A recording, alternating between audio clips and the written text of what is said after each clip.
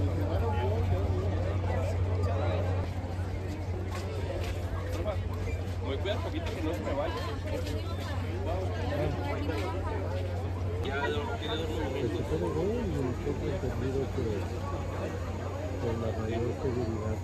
Ahí.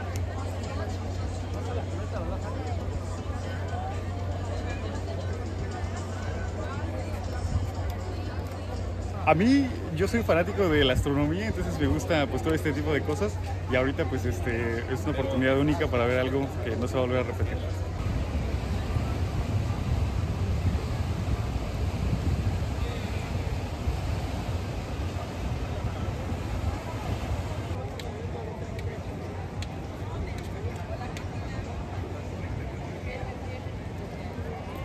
Pues de mucha alegría de haber compartido pues con mi esposo, con mi amiga, este, este momento tan maravilloso. ¿Cómo describiría el momento de la totalidad?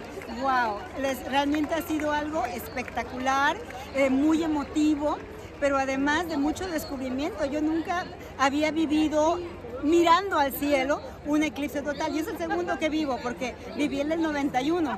Pero nunca nadie nos guió, no tuvimos la fortuna adiós. No tuvimos la fortuna de pertenecer en aquel entonces a una sociedad astronómica. Yo todavía no conocía a mi esposo. Entonces, pues era muy lleno de supersticiones todo, ¿no? Entonces, cuando esto ocurrió, sí, yo salí y vi que todo estaba oscuro y me dediqué a ver cómo las aves cantaban y se iban a dormir. Y cómo de repente levantaban el vuelo otra vez cuando regresó la, la luz, ¿no? Pero nunca miré lo que estaba allá arriba, ¿no? Jamás. Entonces ahora ver todos estos cambios que ocurren, cómo fue comiéndose la luna al sol, que parece un Pac-Man en algún momento, y luego esta, este destellos rojizos alrededor del, del, del, anillo, la verdad es que fue espectacular, muy hermoso. La cromosfera. La cromosfera, ok.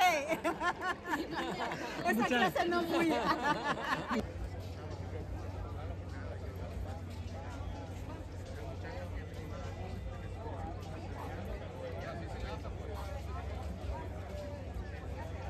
proyecta acá como una, como una mancha, como una como, como, como luz, pues, la proyecta en el, en el este y pues está hecho para curva, aquí telescopios, uno pues Paraguay,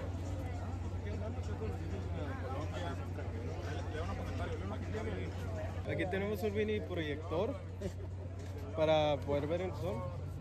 Con este lente que amplifica la luz hasta que llega al ocular y pues termina con la proyección del, del sol eh, pues algo muy espectacular porque las medidas del sol y la luna hacen que tengamos este espectáculo aquí en la Tierra muy especial y lo vamos a aprovechar.